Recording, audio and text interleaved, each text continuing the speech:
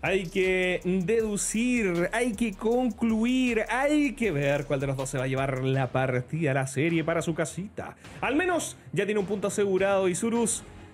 Hay que también resolver, Rafa, si es que fue solo suerte, talento, habilidad. Vamos a verlo. Tenemos la fase de selección y bloqueo rápidamente. Vamos denegando a Sejuani y Talía por parte de Leviatán. vamos a ver entonces eh, por el otro lado a Rumble y Skarner aparece temprano también desde el lado rojo por parte de Isurus, opciones que se van completamente eliminadas. Vamos a ver si es que queda libre la Ash, que se ha repetido bastante el día de ayer en bloqueos. En la primera partida la vimos como selección, así que también puede ser una opción interesante. Y la Tristana, que también está siendo constantemente primera selección desde el lado azul. De momento, el bloqueo que se suma a Leviatán es el Corki. Y ojo con eso, ojo porque ese Corki, ay, ay, ay, me gustaría verlo, me gustaría verlo. Ya sabemos de que está bastante fuerte en el parche, desde más bien el parche en el que se está jugando el competitivo. Recuerden que es un parche anterior al, que jugamos todos. pero bueno, sigue siendo una alternativa bastante interesante. Por eso es que también la bloquean tanto. Lo mismo con Scanner. Quitan del medio Ash, que fue la campeona que vimos en la partida recién pasada, en donde vimos una flecha que están encantada dudosas a veces, otras un tanto destructivas. Pero bueno, en esta ocasión no la veremos de nuevo. Lo que sí vamos a ver otra vez, Rafita, es Tristana. Sí. Tristana como selección entonces ya asegurada, en este caso, para Nobody. Así que vamos a ver cómo le va a ir en este carril central y contra qué se va a estar enfrentando también por parte de Case. La siguiente selección por parte de Isurus es Nautilus. Quieren tenerlo de nuevo a manos de Lupi. Así nomás, Rafita, se viene ahí una selección nuevamente que ya vimos de la primera partida. Un Nautilong aparece en las filas de Isurus.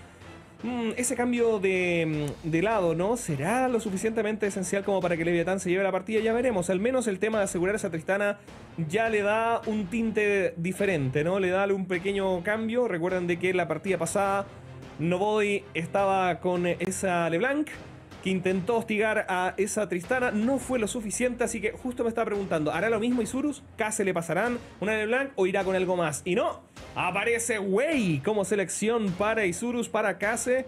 Vamos a ver si está a la altura. Sí, muy interesante esa selección entonces para jugar en contra de la Tristana. El Ivern y la Jinx en contra del Nautilus y la Cena también muy interesante, sobre todo por el tema de las rotaciones, ¿no? Pues seguramente vamos a ver ahí un soporte que aporte muchísimo a las rotaciones por parte de Leviathan para intentar equiparar un poco el mapa. Y seguro que vamos a ver también un Nautilus en manos de Lupi que va a tener que quedarse solo y transformarse de alguna manera en un solo laner desde el carril inferior. Siguientes bloqueos por parte de Isurus en contra de la Camila, así que de nuevo se abre el paso para que aparezca el cazante en las manos de Isurus y vamos a ver si es que Leviathan decide bloquearlo. Así nomás, un, a ver, unos bloqueos que en este punto ya son claves. A ver, primero que todo destacar el tema del Iron que aparece en la primera partida fue bloqueado, así que por algo será. Ya veremos si se justificaba ese bloqueo Iron en la primera partida al dejarlo libre ahora y te imaginas sea la carta de triunfo. Ya veremos. Tenemos bloqueos, eso sí, que vimos en la primera partida como fue Shin Sao. No lo veremos en esta ocasión. Leviatán lo quita en medio. Twisted Fate y Camille es también lo que quita del medio la escuadra de Isuru. Cierra el trato en lo que corresponde a bloqueos Leviatán, quitando de medio un Nar. Sí, decide eliminar a Nar entonces. ¿ah? Y el, tanto el Twisted como la Camille son opciones que funcionan, comprobadas bastante bien en contra de Casanta. Así que creo que de alguna manera le están regalando a Pan, ¿no? Decir que juegue de nuevo con este campeón. Vamos a ver qué es la decisión, cuál es la decisión que toma Isurus. Decide ir en vez de eso por Jax. Un Jax, ojo. Jax que. A ver, a ver, a ver. Finalmente es cierto. Jax funciona bastante bien en top en el meta actual. Incluso en contra un casante que está tan fuerte. El tema está en que en la primera partida donde no lo vimos brillar mucho fue principalmente porque Onfric estuvo muy fino con las emboscadas y por ende no lo dejó en paz a ese Jax, ¿no? No dejaba en paz a Yauni. Y bueno, ahora vamos a ver si se repite la historia. Aparece Gragas. En esta ocasión para Leviathan, interesante selección. Se muestra Rel y finalmente cierran el trato con esa selección. Sí, interesante entonces va a estar este carril superior. Vamos a ver que puede terminar sacando una ventaja importante y si es que vamos a ver emboscadas, ¿no? Sobre todo por parte de Onflick, al igual como las vimos en la partida anterior o por el lado de Isurus. Restaría solamente la selección de Onflick, a menos que, ojo, veamos a ese Jax en la jungla tal vez para poder sacar al cazante del carril superior y parece que va a ser la opción por la que toma Isurus. Vamos a ver, vamos a ver. Mmm. Mi duda, Rafa, es, ¿podrá mostrar algo que no hayan sacado con estas elecciones en la primera partida que desequilibre completamente el resultado? Porque como dicen por ahí, mostrar lo mismo y esperar resultados diferentes, o hacer lo mismo y esperar resultados diferentes es la definición de la locura. En este caso, pues mira, aparece Ivern Gragas, que no lo habíamos visto, Jinx tampoco, y por parte de Isurus, Wei y Cena serían las selecciones que no hemos visto. Así que la verdad, al menos en fase de selección y bloqueos podría ser para cualquiera. Veremos si es así, Rafa. Sí, la verdad es que es muy interesante este cambio. El Casante obviamente tiene un dominio importante en el carril superior, sobre todo cuando no juega en contra de Camille o Twisted Fate, y sobre todo cuando no juega en contra de un campeón que sea de daño, digamos que vaya directamente al duelo en contra del Casante, que yo creo que no es la opción por parte del Gragas, ¿no? que va sobre todo pensado en jugar en contra del Jax en su primer momento y que va más orientado a aguantar la línea, a farmear bien y luego tener un impacto importante en batallas en equipos. Así que por ese lado el Casante tal vez va a estar mucho más tranquilo. Eso también puede traducirse en que Onflink no va a tener tanta prioridad para ir a gankear el carril superior como lo tenía en la partida anterior, ¿no? Para intentar castigar al Jax. Así que tal vez Onflink se centre en otra línea en esta segunda partida de la serie.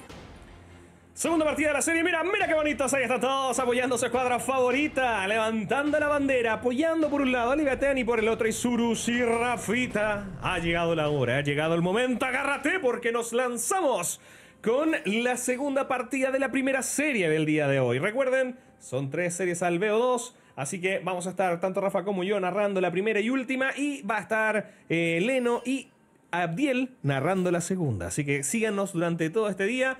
Porque recuerden que también ahora son solo dos. En la apertura eran tres, ahora son solo dos días. Así que para que no, no vaya a ser cosa de que quieran, ah, bueno, se acabó la segunda serie. Como era en la apertura, no hay nada más, me voy. No, no, no. Quédense acá porque queda mucho is porque entregar Rafa.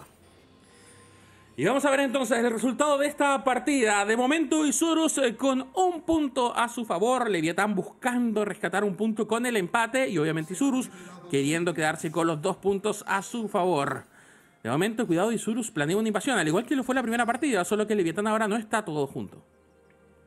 Exactamente, recuerden que en la primera partida vimos esa primera emboscada de gangs, aunque bueno, ahora es un Ivern, sería difícil que se llevara los dos kills, pero bueno, el tema fue esa, ¿no? Que teníamos un gangs desatado en el primer minuto de partida, literal, y se llevaba un doble asesinato, casi mil de oro a la bolsa de Leviatán, que finalmente no se vio tanto, ¿no? No se vio tan... Eh, no, transformaron esa inversión en una buena ganancia para la escuadra Leviatán, pero eh, ahora, bueno, no van a hacer lo mismo, están todos a cubierto, no se van a arriesgar.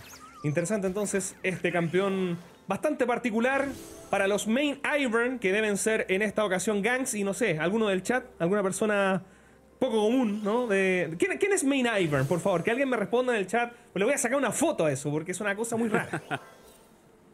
Vamos a ver, vamos a ver cómo le va a Gangs eh, con este campeón, a ver si que puede hacer la diferencia, ¿no? La de todas maneras tiene una emboscada bastante fuerte y en batallas en equipos también puede llegar a ser bastantes problemas para Isurus, así que hay que ver cómo lo termina manejando. En el carril superior, eso sí, creo que el tema del cazante podría terminar desbordándose, ¿no? Eventualmente, ya que difícilmente eh, va a tener una línea complicada, ¿no? Como si lo hubiera tenido en contra de un Twisted Fate o una Camille. Sí, ese es el tema. una Camille que por lo mismo fue bloqueada, Twisted Fate también. Así que bueno, veremos si eso le ha librado un poquito el paso, ¿no? Para que tenga un, poco más de libertad a la hora de los últimos golpes y estar más preparado para las peleas. Estoy leyendo ahora el chat y todos ponen yo. Ahora son todos main Rafa. Mira, mm, como que dudo. Está sospechoso. a mí no me cae ninguna duda. Todo el mundo mm. main desde la beta. Exactamente, desde que sale el juego, todas las main esperando el campeón. En fin, vamos a ver si es que eso se traduce ¿no? en las manos de Gangs para que pueda hacer estragos con este campeón muy particular en su forma de jugar. Por ahora, en el carril central, quiero también ver la agresividad de Nobody con esa Tristana. Recuerden, es una campeona que tienes que jugar agresivo, que tienes que mantener a raya a tu rival. Si es que no lo puedes matar, al menos te vas, le vas a ganar, o deberías, por el tema de las plaquitas. Y mira, ahora que se siente guardado por el tema de Gangs, que viene a ayudarlo, se lanzaba hacia adelante, pero estaba atento Case para lanzar el Fear, el miedo entre los ojos de Nobody. Y eso le impide poder acumular todos los básicos y hacer más daño. Sí, pero ojo, ya cae la primera emboscada por parte de Gangs. Un punto muy importante. Vamos a ver si es que puede mantener ese ritmo justamente para al menos meter mucha más presión por parte en contra de Isurus en el juego temprano. Prueban suerte en el carril inferior. Rafa se lanza, cabalgando fuerte Babel en contra de Lupi. Queda crítico con ignición y todo incluido. Casi, casi. Rafa se escapa con 100 de vida. Crítico, pero no lo suficiente como para llevarse la primera sangre. Estaba cerca Gangs, por si las cosas se complicaban o por si llegaba, por ejemplo, a Unflick que finalmente al darse cuenta que su soporte se salvaguarda, va a probar suerte en el carril central. Ojo, a ver si lo consigue. No tiene el salto de cohete, parece no body. Tiene destello, no lo quiere usar. Lo termina usando el último segundo. Crítico a la desesperada. Estaba casi ya un flick metiendo presión. Llegaba Gans un poco tarde. ¿Funciona la emboscada? Diría yo que sí, ¿no? Por el destello. Sí, exacto. O sea, yo creo que no era una enfocada que iba apuntado a asesinar directamente a Nobody. Obviamente que se le daba la oportunidad a un flick que iba a gastar hasta el destello para poder asegurarlo, ¿no? Pero, pero simplemente con el destello se da por pagado, digamos.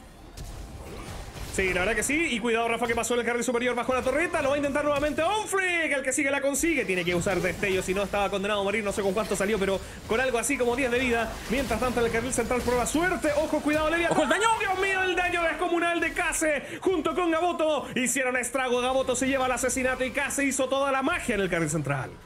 Ahí está, tres asesinatos entonces de un instante a otro, casi 2K de oro de ventaja para la escuadra del tiburón en estos primeros minutos de partida. Una emboscada en el carril superior que le sale bien a Onfling, ¿no? Un Jauni que ya estaba complicado, sobre todo en temas de maná, como para poder defenderse bien en contra de la emboscada. Y luego un 2 contra 3 que termina ganando de buena manera Isurus en el carril central. Es que ese es el tema, Rafa. O sea, ¿cómo lo hizo Onflick? Estaba totalmente desatado. Veíamos que. Uy, probaba suerte en medio y luego en top atento. ¿Qué pasó, Lupi? ¿Dónde sentaste, Lupi? ¿Dónde estaba Lupi? Tenía el destello, Rafa, tranquilo. Siempre lo supe, nunca lo dudé. Chat también sabía que Lupi se iba a salvar. Todos estaban claros que su nivel le permitía jugar así arriesgado. Termina quemando el destello, eso sí, salió corriendo pidiendo perdón. Uy, no hay primera sin segunda, Rafa. No hay primera sin segunda. Vamos a ver. Onflick va a buscar un ángulo. Ya vio su, su vida correr ante sus ojos. Jauni está condenado a caer. ¿A quién se lo dejan? ¿Cómo no? A Pan. Ese cazante que le viene muy bien un asesinato. Y Jauni cae otra vez. ¿En cuánto? ¿Dos minutos? ¿Minuto y medio? Onflick, de hecho, esboza la sonrisa. Está muy cómodo con Jax. Sí, no, definitivamente. Y, en general, Isurus está cómodo cayendo constantemente en contra de Yauni, ¿no? Tal vez Yauni es de esos eh, jugadores que eh, pueden acarrear al equipo si es que le va bien tranquilamente. Lo demostró así, de hecho, lo que fue la temporada pasada. Así que justamente caer y molestar a Yauni me parece una estrategia completamente válida por parte de Isurus. Para la primera partida, que tenía un Jack sobre todo, incluso para esta, ¿no? Que al final igual se traduce en ventaja para el equipo. Muy importante, sí, que esto hasta el final es otro, una especie de intercambio, ¿no? Porque eh, la consecuencia de que Lupi estuviera tan complicado en el carril inferior, ¿no? De que tuviera que gastar su destello y que no lo pudieran matar, se traduce después en esta rotación por parte de Gaboto, ¿no? Que por eso no estaba en el carril inferior y aparece en el carril superior llevándose ventaja y dándole más oro a la escuadra del tiburón. Así que muy buen juego temprano por parte de Isurus, que ya está sacando una ventaja bastante interesante, casi 3k de oro. Sí, es mucho. 2K y medio por ahí. Es bastante, sobre todo para que sean 6, ¿cuántos? 7 minutos de partida de la nada misma. Intenta responder con, e, a esto Leviatán con un dragón, pero al ser un Iron se demoran siglos. Rafa no lo perdona de inmediato Isurus y encuentra un tesoro. Es el tesoro del dragón. Se llevan dragoncito y uno rico, rico. Doble asesinato. Oro que sobra en este momento en las arcas del tiburón y quizás se puedan llevar uno más. Le hacía la fintiña, Rafa. El quebre de cintura. No hay chance ni oportunidad. Por favor, paren esto. Rafa es una masacre. 6 en el marcador en 7 minutos de partida. Nada que hacer. Es impresionante. Un asesinato por minuto en estos momentos para Isurus, una ventaja importantísima. El dragón se lo lograron llevar, o sea, dominando todo sector del mapa. El único lugar del mapa donde no tiene presión, tal vez en el carril central, ¿no? Por el tema de la Tristana. Pero es que, a pesar de que lo ha intentado no body, no ha podido sacar mucha ventaja directamente en contra de Case. Ni en últimos golpes, ni en asesinatos. Pues sí, la verdad que mm, no estaba funcionando las ideas de Leviatán. De hecho, por cierto, no, había sentinela ahí. Como que, bueno, obviamente Isuru sabía que se habían ido, lo más probable sea Dragón, pero no tenía una clara visión de lo que estaba ocurriendo. Y cuando vieron una pequeña oportunidad se lanzaron todos juntos y nada que hacer. A mí también me preocupa un poquito el posicionamiento de Vini ahí porque vio que Lupi venía desde la parte inferior y se demoró demasiado en salir. Igual era una Jinx. Era complicado. ¡Cuidado! ¿Qué pasó? Sacando la cara por el equipo. No Body se lanzaba de frente y se soleaba entre comillas porque llegaba igual Gangs por el flanco. Akase intentaba defender a un flick. Ya era demasiado tarde y ese asesinato. La primera sangre para Lidia Tan, Rafa. Sí, que aparte se lleva la recompensa. Ojo con Gangs. Hoy no. Hoy no, Rafa. Y parece que no va a ser gratis. No, va a ser gratis. No te pudimos salvar, le dijeron a Case, pero te vengaremos. Se lo lleva sin problemas. Tres contra uno, eso sí. El pobre albolito. Lo hicieron ramita, Rafa. Una buena hoguera, nada que hacer. Condenado a un 8-1 el marcador, minuto 8. Y sigue, sigue con el tema, ¿no? Un minuto, un asesinato por minuto para Isurus. Prácticamente. Le faltaba muy poco a Gangs para tener su destello. De hecho, en estos momentos ya lo tiene disponible. Pero en esa emboscada no lo tenía. Y tal vez con eso se hubiera alcanzado a salvar. Así que sigue sumando ventaja de Surus. El, asesinato de Kase al final fue un intercambio, ¿no? Porque también juega a que Gangs se tenga que exponer un poco más en la línea y lo termina pagando con su vida. Vamos a ver que ya estamos entrando casi los 10 minutos de partida y son 4K de oro para Isurus. Es una ventaja muy grande para los pocos minutos de juego que lleva. Ese es el tema. Destaca mucho eso, ¿no? Que ya son muchos asesinatos, mucho oro y 10 minutos de partida, un poquito más.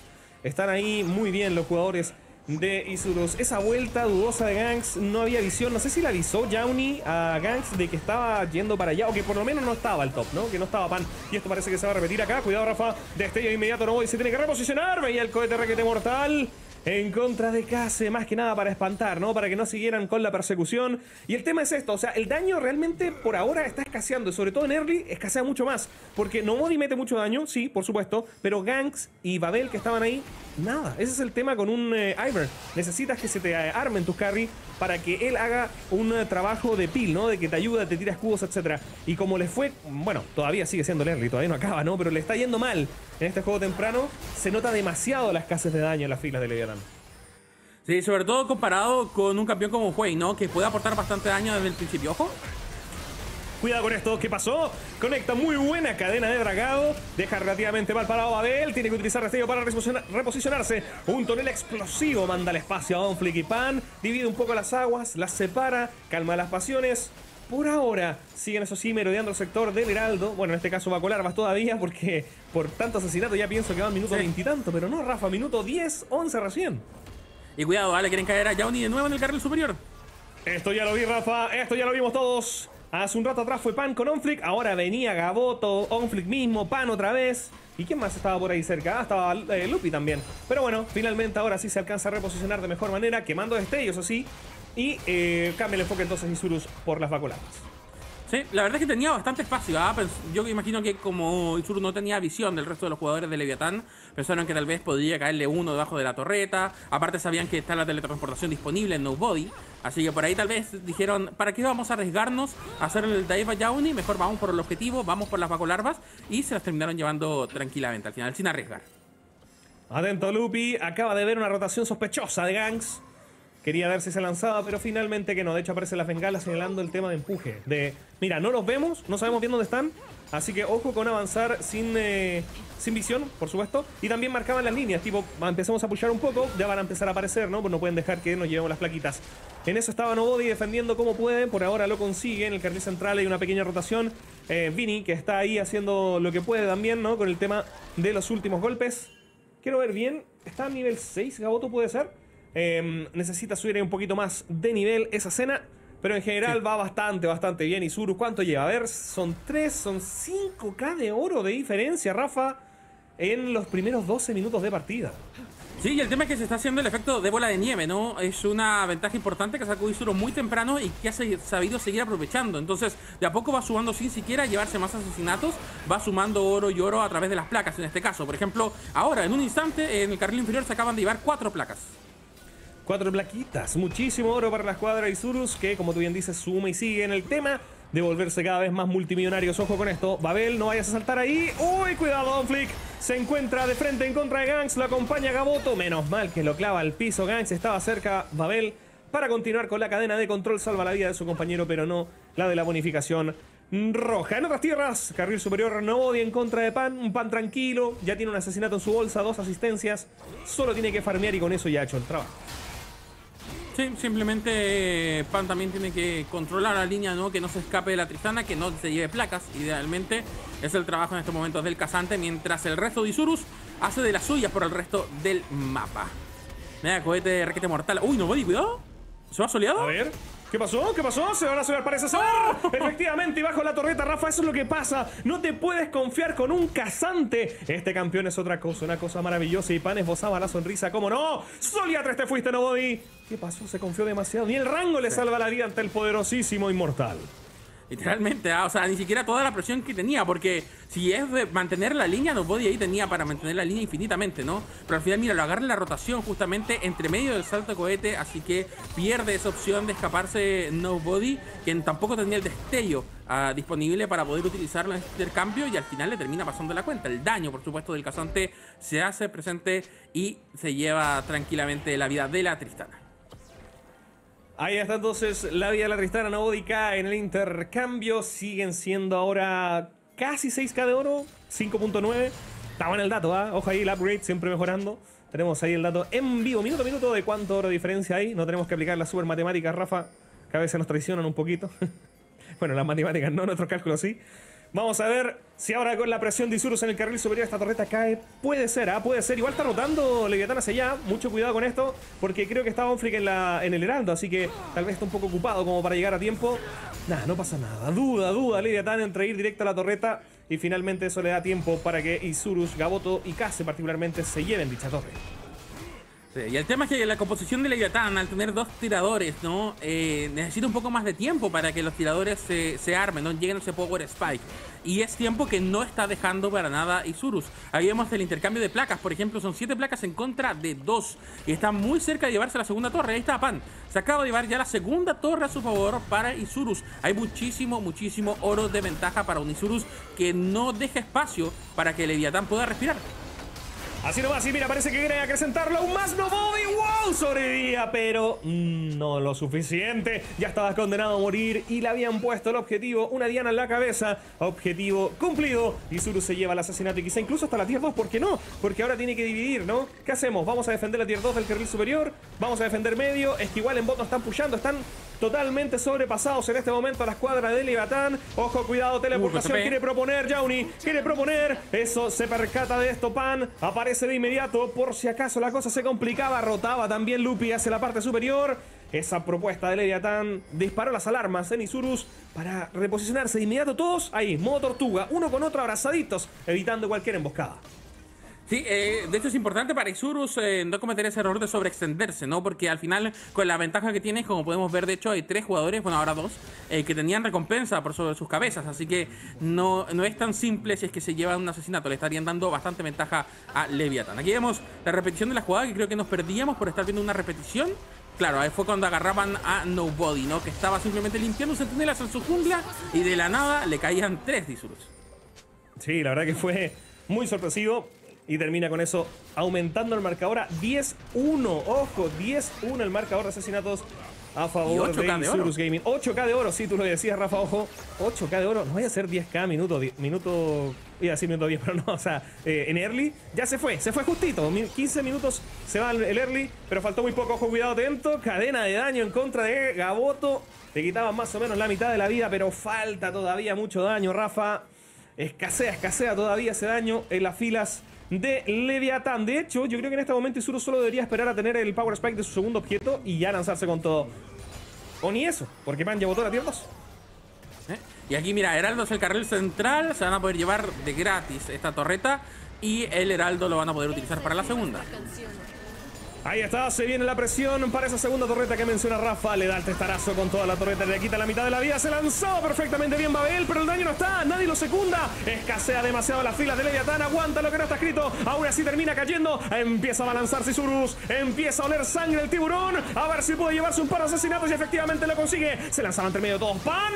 con todo cuidado. Se vengaba Vini. Quedaba mal parado Jax en el intercambio. Flick le termina costando la vida mientras que Case estaba en su misión, en su cruzada. La torreta tiene que caer a como de lugar y termina haciéndolo dos 2 a 1 el intercambio, pero también, claro, la torreta del carril central, cuidado que van por más. Casi tiene que reposicionarse, está complicado. Se lanzaba Jauni a ver si lo puede conseguir. Se lleva el asesinato y cuidado que con eso también se lleva las recompensas. Panza adelanta, se desquita, quitándose uno al menos. Ojo, Vini, que está crítico, pero aún así sigue castigando. Es inmortal, Pan no le pega nada. Está más duro que la realidad, Rafa, a ver si puede sobrevivir a esto. De todas maneras, Lupi no tiene maná. Sigue baiteando, que va, que vuelve. No lo pueden bajar hasta ulti encima, Dios mío. Hagan algo. Ahí yo, ahí yo no podía. llegó por fin, no Body a enseñar cómo se mete daño y se terminan llevando un par de asesinatos. Esto le viene perfecto a Leviathan que se llevó todos los bounty, Rafa. Exacto, fue un exterminio desfasado. Alcanza a matar a los cinco jugadores de Isurus y ahora queda en buena posición para ir a buscar justamente un dragón. No es un dragón tan crítico, apenas sería el tercero para Isurus, pero por lo menos le da un poco más de respiro. Ojo que no va a ser gratis, parece. Oh, parece que no. Ojo, cuidado, saltó que le pegó un puro palo en la cabeza y nada que hacer. Lo parte a la mitad, esto ya lo vi. Lo vimos en esta misma partida. Usted no aprende, le dicen. Se lleva triple asesinato. Vienen con la sangre del ojo, Rafa. Vienen por la vendetta, vienen con la venganza, con la intención de cobrar. Y efectivamente lo consiguen. Tres asesinatos. A ver, si eso fue un exterminio desfasado, sería un 5 por 3 ¿Y dragón? Sí, más o menos. Pero al final lo importante es que Isurus sigue sumando ventaja de oro. De hecho, está a nada de tener, técnicamente ya tiene 10k de oro de ventaja en contra de Leviatán. Que antes del minuto 20 le queda solamente una torre fuera de la base. Así es, Rafita. Una torre fuera de la base nomás. O sea, no tiene mucho, por mucho, lo que poder moverse luego. Y ya sabes lo que conlleva eso, ¿no? Te lleva las torretas del perímetro exterior de tu base, lo cual abre de par en par la jungla completa para tu rival, me refiero. Y eso pues te evita poder seguir farmeando y acumular oro, experiencia, etc. O sea, te va limitando cada vez más. Ahí está, hubo una pequeña ilusión por parte de Leviathan, un pequeño respiro, pero finalmente las cosas volvieron a ser a favor de Isurus en esa pelea en el dragón, que ya van por los casi 12k de oro, Rafa. Sí, es que literalmente es una bola de nieve que no paró desde cuánto, de los primeros 2K de oro más o menos que sacó Isurus, de ahí en adelante no ha soltado la ventaja y ha estado constantemente asfixiando a Leviathan. Aquí vemos la repetición de la pelea, la primera pelea de equipo, digamos, de 5 contra 5 que vimos en la partida, donde realmente se notó, ¿no? Que a pesar de estar en una posición desfavorable para Isurus, aún así no había daño suficiente por parte de Leviathan como para poder asegurar el exterminio. Y solamente lograron remontar gracias a que Isurus sobreextendió. Se quedó mucho más del tiempo necesario en ese carril buscando hacer daño directamente en contra de la torre del inhibidor o incluso en un momento intentar llevarse la vida de Benny por parte de Kase y eso bueno les terminó costando un par de asesinatos más. Acaba de morir el jungla rival, así que es un varón bastante tentador para la escuadra de Isurus. Alcanzaba a escuchar cuando volvíamos de la repetición el árbol cae de Gangs. Efectivamente había caído, Yauni está cerca. No, no hay castigo, o sea, técnicamente podría asegurarlo Isurus. Tiene que jugarlo relativamente nomás y listo. Quiere entrar con todo a ver a ver si puede hacer el combo. Uh, le conecta directo acá, se le quita más de la mitad de la vida. Eso está bastante bueno para Leviatán. Decídanse, ¿vamos varón o vamos a pelear? Todavía queda por el varón. Falla el castigo, pero aún así lo logra asegurar. Nadie logra entrar al pit del varón por parte de Leviatán. Y ahora sí, sale todo. Sale el tiburón que ya olió sangre y busca los asesinatos uno tras otro. Cuatro muertes, exterminio desfasado. Porque recuerden que la pelea iniciado con un gangs muerto en el pit del varón. Sí, es un Isurus que ya con 14k de oro que va a seguir sumando y seguramente va a tener la fuerza para terminar la partida con esta bonificación de varón, ¿ah? De hecho, bueno, le quedan 25 segundos todavía, tal vez podría dejar hasta un inhibidor expuesto, ¿no? Si es que fuerzan alguna teletransportación. Vemos la repetición de la jugada, tú lo mencionabas, ¿no? Como Leviatán... Bueno, es que no tenían castigo, entonces en verdad les convenía ir a pelear por el varón. Creo que la opción era buscar los asesinatos. El problema es que le terminan dando el enfoque a Lupi, quien estaba prácticamente servido, ¿no? Haciendo de línea frontal que, no sé si es que realmente fue una mala opción para Leviatán. El problema es que, de nuevo, no hay daño para matar. Lupi, recuerden que es el soporte. Y ni siquiera lo pudieron matar cuando estaban los dos carries pegándole a él. Sí, en esto es que ya, a ver, sí, es soporte, pero tiene dos objetos muy tanque, ¿no? Entre el corazón y el o es, el soporte de una cena. Entonces, claro, hay una comilla ahí entre medio, pero es soporte. Pero claro, claro, a ver, en el papel dice soporte. Su rol, ¿no? Ahí, su código genético dice soporte.